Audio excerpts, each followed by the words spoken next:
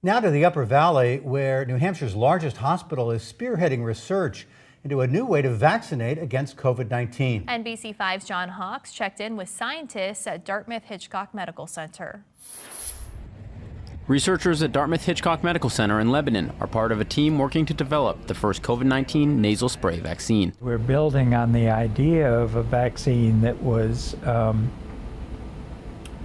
is been used in the U.S. military to prevent respiratory disease that military recruits, as they enter into basic training, uh, often um, get. It's a very effective, very safe vaccine. The work is a collaboration with the National Institute of Health and Exothera, a biomedical company based in Belgium.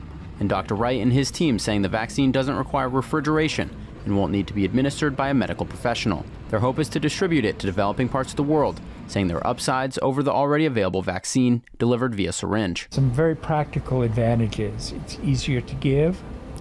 Uh, it should be much less expensive.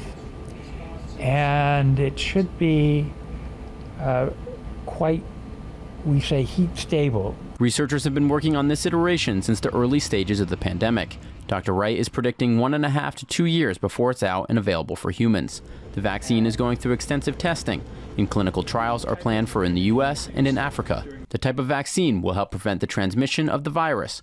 Officials say the current vaccine is very effective with preventing individuals from catching COVID 19. We think this vaccine, by stimulating immunity in the respiratory tract, would be the type of vaccine that would protect or limit the amount of transmission. Intranasal vaccines have been used to protect against other viruses, such as measles and rubella, and researchers are comparing the delivery to oral drops that are used around the world to deliver polio vaccines.